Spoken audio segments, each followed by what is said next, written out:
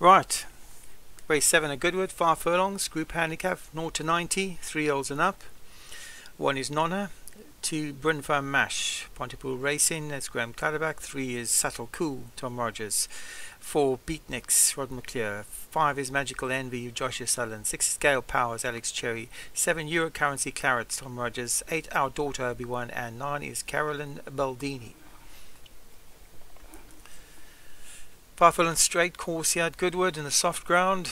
Away they go. It's a level break by most and quickly out of the gates our daughter has gone to the front. So our daughter leads in from subtle cool in the centre of the track. Alex Cherry's orange cap, uh, distinctive colours back in third with Gale Powers. On that one's outside is Magical Envy for Joshua Sutherland. Right out wide is Beatniks. Uh, then comes uh, run for Mash for Graham Clutterbuck, uh, two lanes back to Caroline Bellini and Euro Currency Clarets and Nonna are well of their grounds in this far furlong race. Three furlongs left to go and as Magical Envy has now come forward to take it up.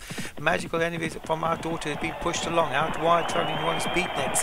Then comes uh, Subtle Cool and then uh, Gale Powers and the only one coming up from the back of the field is Brent Farm Mash. So it's Magical Envy in front and Beatniks is coming to try to grab that and trying to come, to come back is our daughter. It's Magical Envy for Joshua Sutherland from out wide. Beatniks Running on to the back of the field is Brunfarm Mash. It's Magical Envy, but here comes Brunfarm Mash between horses. And Brunfarm Mash is coming to grab both Beatniks and, and, and, and Magical Envy. And Brunfarm Mash has got up to win that.